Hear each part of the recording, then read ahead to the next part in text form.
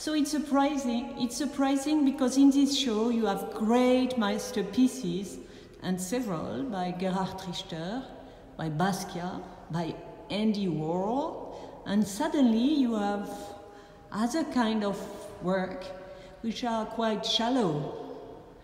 Why did you do that? The chapter we are in here now with uh, all the work of Keith Haring and uh, Cindy Sherman and uh, also uh, quite some young artists. Or unknown artists. And uh, pretty uh, unknown young artists is uh, it is about now. It is about the idea of the new brave world, the brave new world revisited. That's actually what uh, Huxley did in the 50s. He would kind of analyze what happened after he has written the novel of the Brave New World in 1932, very near this island. Mm-hmm.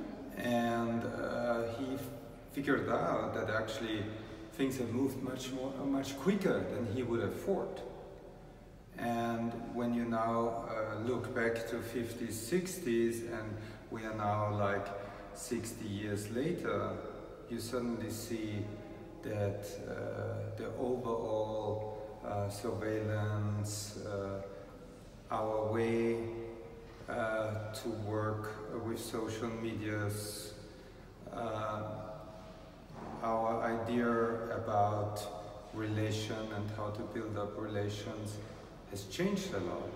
Mm-hmm. And this chapter is dedicated to this idea of what's behind the surface of this brave new world we live in now. Yeah, but you, you, you are showing pertinent artists like Cindy Sherman and Keith Haring, and you are showing others which who are not at all on the same level. So I'm really surprised by that. Yeah, and that's uh, absolutely, it's absolutely unwill to confront. Uh, when you talk about our time now, it's also the unknown artists who capture a lot of the time we live in. So meaning uh, by just taking some of the so-called old masters, mm-hmm. either still working or masters like Keith Haring who has sensed our emoji culture, therefore we have the work here. Uh, because uh, these artists have brought already brought our time now on the table at a much earlier stage. You need, you really need the young artists, the artists working differently from our, in the art scene, used understanding, the understanding we are used to in our visual, uh, in our looking at, uh, to be able to disrupt and to be able to reflect on our time.